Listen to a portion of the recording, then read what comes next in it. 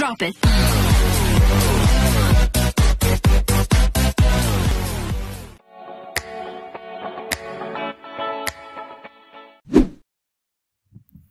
Hi, good day. Teacher Searn here. For today's video, we are going to learn about a specific type of cooperative learning strategy used inside the classroom. Now, we will learn more about it along the video. The Carousel learning strategy is a type of cooperative learning strategy that enables the students in the classroom to engage towards movement, discussion, and reflection. This was developed by Shelley Gray in 2016. Now with the same concept of the carousel, students as a group in the class will be doing this activity by moving from one learning station towards the other. Now without further ado, let us know the steps on how to apply this cooperative learning strategy. Step number 1 is to organize your learning stations. Assume you are a teacher who is about to give a lesson on the topic of climate. Now in organizing your learning station, the teacher has to choose specific areas and corners within the classroom as to where the learning process is going to happen.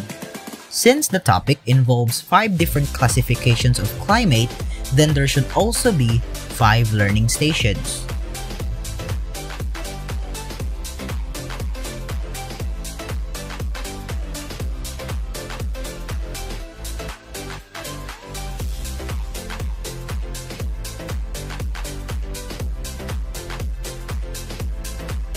Every learning station will be given the same guiding questions.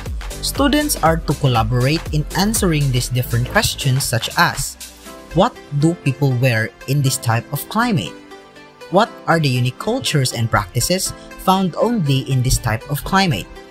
Give examples of countries that experience this type of climate. Even though questions are the same for every learning station, students can still create varieties of answers while answering every learning station. It is because climates are generally different by nature.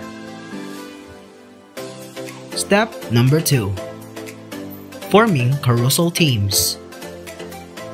Now that the teacher has successfully created learning stations, it is now time to create groupings within the classroom.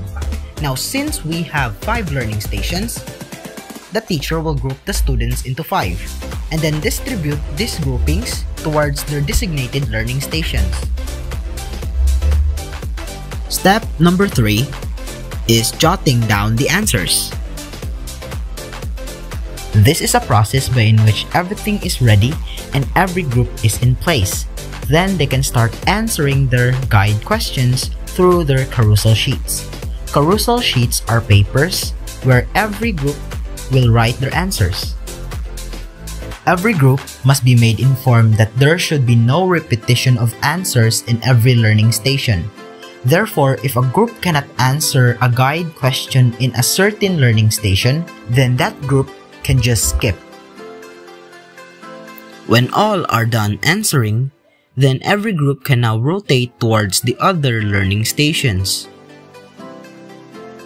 The next step is synthesizing thoughts. In this process, every group in the classroom has successfully rotated and answered every learning station in the classroom.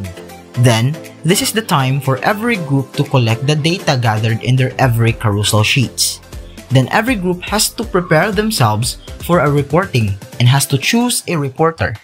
Step number 5 is taking the test.